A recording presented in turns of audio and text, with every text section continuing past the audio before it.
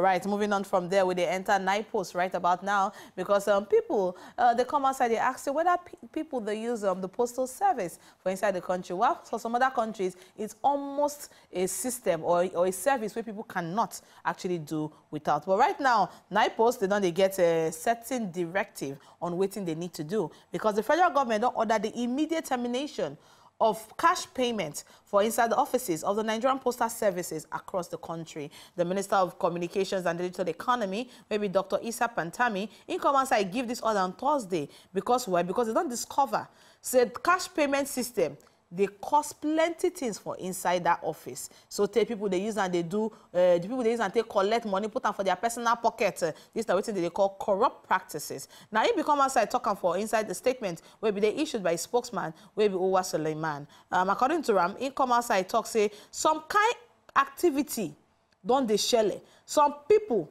they, they take undue advantage of this cash payment system under the Nigerian Postal Service to engage in corrupt practices. He said because of that one, and based on waiting the present administration they do in terms of anti-corruption agenda, uh, it done they mandated by the federal government and by the Federal Ministry of Communications and Digital Economy, uh, they don't decide to direct the postal, the Postmaster General with immediate effect to say they suspend any transaction wey mean say the customer need to come and pay money by hand to any of the staff for inside the office. He say no be only one office so they go stop this one. They go stop and for all the offices nationwide. Im come outside talk say the new way of making payment na to use point of sales what would they call pos or bank teller transactions. Eh he say all this one o not be only on the part of the staff of NIPOST now even customers them also need to do their own part of making sure say then talk they tell the cost the staff in case staff talk say okay if you bring money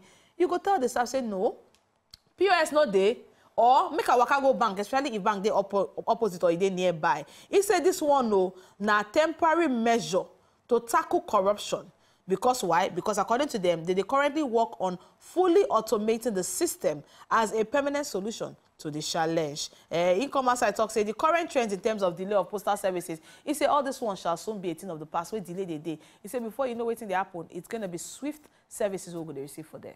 All right, you don't hear. I'm those are the things where they trend inside the news. We don't tell you say custom don't ban the supply of food to Nigerians where they live for inside the border areas too. And also we will tell you the one where the Minister of Works and Housing become outside talk say Nigeria roads not they too bad now. Why Nigeria people they shout?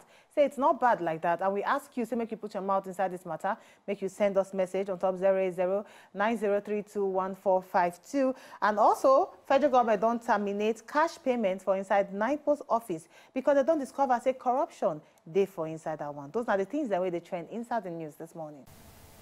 To enjoy more of these our Ogonge videos when you just watch, press this button to subscribe on top of our YouTube page. You go love her.